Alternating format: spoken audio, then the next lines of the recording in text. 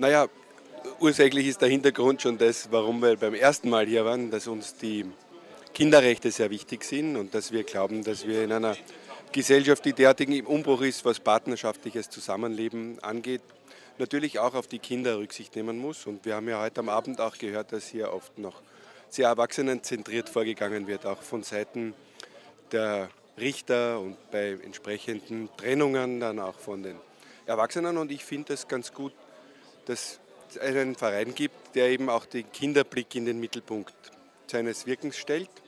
Erster Grund. Zweiter Grund ist, voriges Jahr war eine erfolgreiche, tolle Veranstaltung. Heute ist es eine tolle, erfolgreiche Veranstaltung. Mit vielen Experten, die man sonst in Österreich leider nicht hören kann, mit denen man dann auch reden kann, zum Angreifen quasi. Und nachdem ich selbst an dem Thema sehr interessiert bin, werde ich sicher auch noch bei den zukünftigen derartigen Abenden anwesend und sehr gern zu Gast sein.